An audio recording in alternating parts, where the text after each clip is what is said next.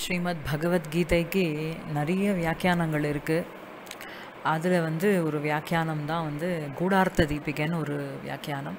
அதை எழுதினவர் மதுசூதன சரஸ்வதின்னு ஒரு பரம அத்வைத்தி அவர் வந்து அந்த வியாக்கியானம் எழுதும்போது ஒரு ஸ்லோகம் ஒன்று போடுவார். அது என்ன அப்படின்னா व्याख्यातृत्वे अपि மே न अत्र भाष्यकारेण तुल्यता। குஞ்சாயாக கிண்ணு ஹேம்னைக துலாரோஹே அப்படி துல்லியதா அப்படின்னு ஒரு ஸ்லோகம் அதாவது என்ன அப்படின்னா நானும் ஒரு வியாக்கியானக்காரர் தான். நானும் கீதைக்கு வியாக்கியானம் எழுதியிருக்கேன். ஆதிசங்கரரும் வியாக்கியானம் எழுதியிருக்கார். ஆனால் பாஷ்யக்காரேன அப்படிங்கிற ஒரு வார்த்தையினால் அவர் ஆதிசங்கரரை சொல்கிறார் சங்கர பாஷ்யத்துக்கு துளி கூட என்னோடய பாஷ்யத்தை வந்து ஒப்பிடவே முடியாது. ஒரு கம்பாரிசனே கிடையாது. அவர் எங்கேயோ ஆதிசங்கரோட வியாக்கியானம் மகாவசதி என்னோடது அப்படி கிடையாது அப்படின்னு சொல்லிக்கிறார்.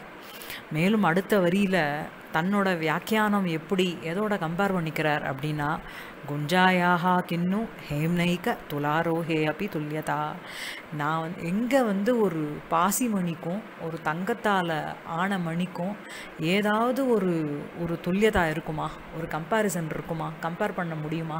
எங்கே ஒரு சாதாரண பாசிமணி எங்கே வந்து தங்கத்தால் ஆன மணி. ஸோ தன்னோட வியாக்கியானத்தை அவர் பாசிமணின்னும் ஆதிசங்கரர் எழுதினதை தங்கமணினும் ஒப்பிடுறார்.